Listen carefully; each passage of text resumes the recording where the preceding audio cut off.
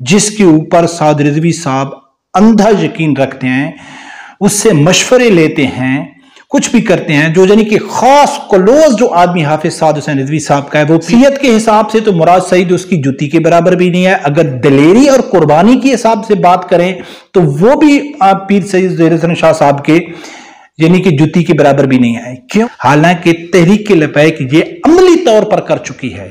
بسم اللہ الرحمن الرحیم۔ السلام علیکم، ناظرین۔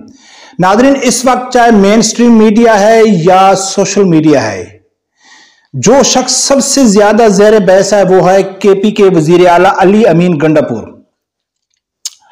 یقیناً آپ لوگوں کو معلوم ہوگا کہ علی امین گنڈاپور نے کل عمران خان کے جلسے میں پی ٹی آئی کا جو جلسہ تھا، اس میں کچھ باتیں کی۔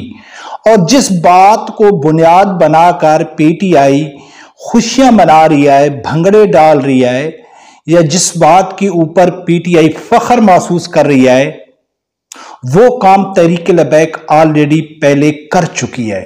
عملی طور پر صرف کیا نہیں ہے سو پرسنٹ اس میں اس کو کامیابی بھی مل چکی ہے۔ اس کے اوپر بات کریں گے، وہ کون سی بات تھی؟ اور دوسرے نمبر پہ مراد سعید اور پیر سید ظہیر الحسن شاہ صاحب کا موازنہ کرنا کیا درست ہے؟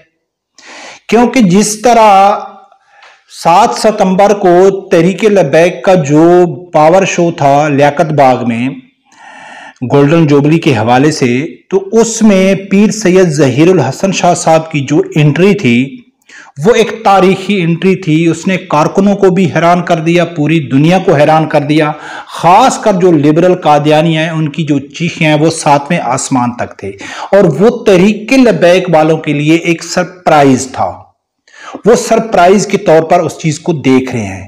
اسی طرح پی ٹی آئی کے جلسے میں مراد سعید کی جو ویڈیو یعنی کہ گفتگو تھی، اس کو پوری P T I social media team اس تناظر میں دیکھ رہی ہے کہ دیکھو جی پی ٹی آئی کے جلسے میں مراد سعید کی انٹری۔ پہلے تو میں یہ سوچا کہ یار، مراد سعید منظر عام پر آ گئے۔ اور جس طرح طریقے لبیک والے بڑے اموشنل ہو گئے تھے پیر سید ظہیر الحسن شاہ صاحب کو دیکھ کے، اور ان کی خوشی کی انتہا نہیں تھی، اسی طرح بڑے اموشنل مناظر پی ٹی آئی کے ورکروں کے کارکنوں کو بھی نظر آئے جب مراد سعید سکرین پہ آیا۔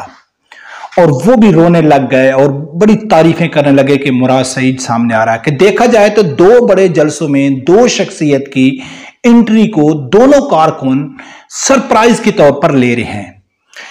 پہلے اسی کے اوپر ناظرین بات کر لیتے ہیں کہ پیر سید ظہیر الحسن شاہ صاحب اور مراد سعید میں کیا چیز مشترک ہے۔ اگر شخصیت کے حساب سے دیکھا جائے تو مراد سعید پیر سید ظہیر الحسن شاہ صاحب کی جتی کے برابر بھی نہیں آئے، کیونکہ وہ ایک صاحبزادے سید زاد سے تعلق رکھنے والے ہیں، عالم دین ہے، اس کی بڑیاں قربانیاں ہیں اسلام کے لیے، ختم نبوت، ناموس رسالت کے لیے۔ صاف شفاف شخصیت ہے، کوئی کسی قسم کا اس کے اوپر الزام نہیں ہے بزرگ دین ہے، ہر شخص اس کی جو مخالفین ہے وہ اس کی عزت کرتے ہیں۔ اگر دوسری طرح مراسی دیکھا جائے تو وہ ایک نوجوان ہے اور اس کے اوپر کتابیں لکھی جا چکی ہیں۔ دین سے اللہ معاف کرے، دور دور تک ان کا تعلق نہیں ہے۔ موازنہ اگر پیر سید شاہ صاحب سے کیا جائے تو۔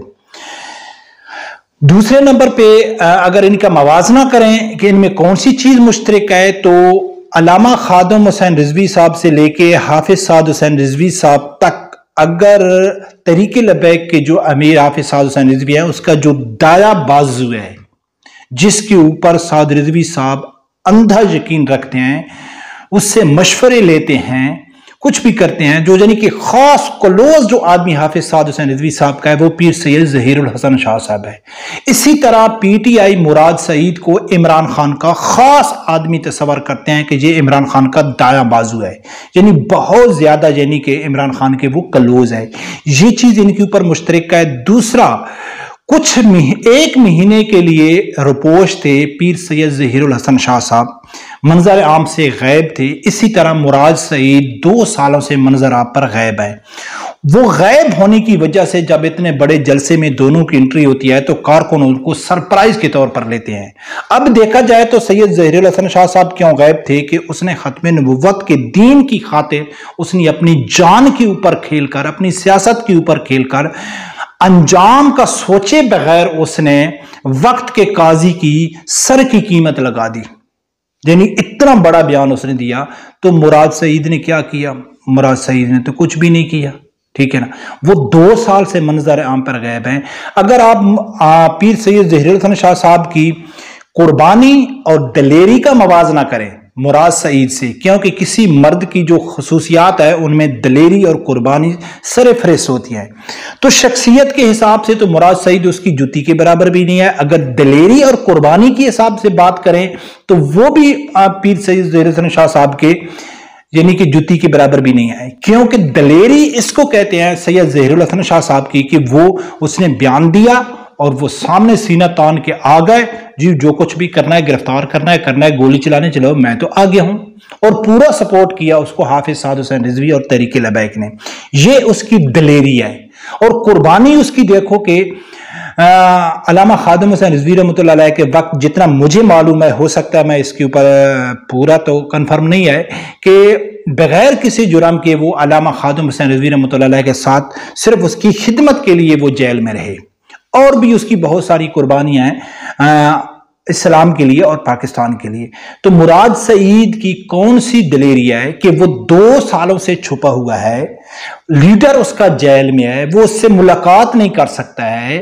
وہ گرفتاری نہیں دے سکتا ہے، جیل سے جانے سے ڈرتا ہے، ٹھیک ہے نا؟ تو اگر دیکھا جائے تو ان کا دور دور تک کوئی موازنہ بنتا ہی نہیں آئے ہاں طریقے لبیک والے فخر محسوس کر سکتے ہیں، ان کے لیے سرپرائز تھا۔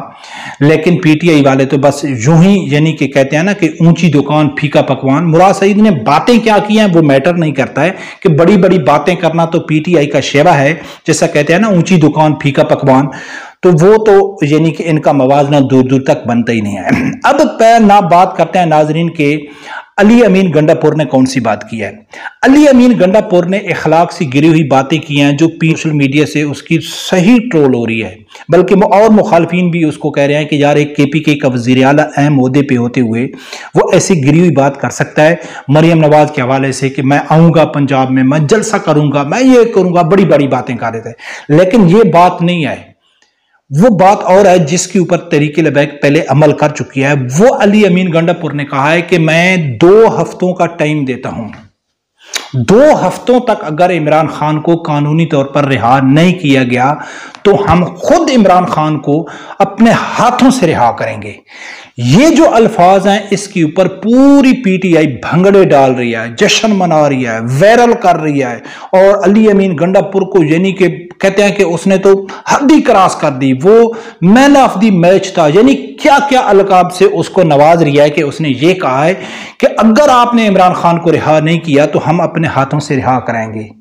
حالانکہ تحریک لپیک یہ عملی طور پر کر چکی ہے کہ جب عمران خان کی اسی علی امین گنڈا پور کی حکومت ان کی تھی، تو حافظ سعد حسین رضوی صاحب کو عدالتی حکم ہونے کے باوجود پی ٹی آئی حکومت نہیں چھوڑنی تھی، جو عمران خان کہتا تھا نا، میری ضد ہے، سعد رضوی کو جیل میں رکھنا۔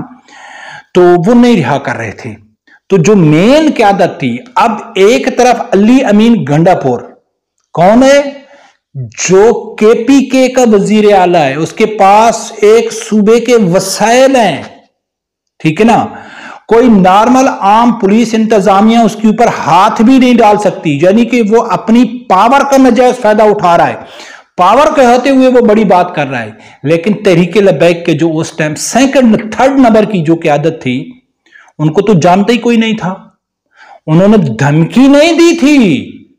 اس طرح کنٹینر میں جلسے ہو کے دھمکی نہیں دی تھی۔ جب انہوں نے دیکھا کہ ہمارے لیڈر کو نہیں چھوڑا جا رہا ہے، تو انہوں نے روڈوں میں نکلے، قربانیاں دیں، گولیوں کا سامنا کیا، شیلنگ کا سامنا کیا، کارکنوں نے گولیاں چلائیں۔ جا کے دھرنا دے کے وزیر آباد میں بیٹھ گئے کہ جب تک ہمارا لیڈر رہا نہیں ہوتا ہے، ہم واپس جانے والے نہیں ہیں چلو ہمارے اوپر بلڈوزر۔ ہم نہیں جانے والے۔ اور اسی عمران خان نے گھٹنے ٹیکنے پہ مجبور ہو گیا تھا اور حافظ سعد حسین رضوی صاحب اور پلس دوسرے جو طریقے لبیک کے رہنما تھے، ان کو رہا کر دیا تھا۔ اور کیا آپ سمجھتے ہو کہ علی امین گنڈا پور نے جو دھمکی دی ہے، اس کے اوپر پی ٹی آئی عمل کرے گی؟ عمران خان کو رہا کریں گے؟ سوال ہی پیدا نہیں ہوتا ہے۔ جنی کہ ہم اس کو ناممکن کے طور پہ، حالانکہ سیاست میں کوئی چیز ناممکن نہیں ہوتی ہے۔ جتنی پاپولرٹی پی ٹی آئی کی ہے، اگر کارکن روڈوں پہ نکل آئے تو وہ کچھ بھی کر سکتے ہیں، لیکن نہیں نکل سکتے۔ تو پی ٹی آئی کو لوگ جانتا ہے۔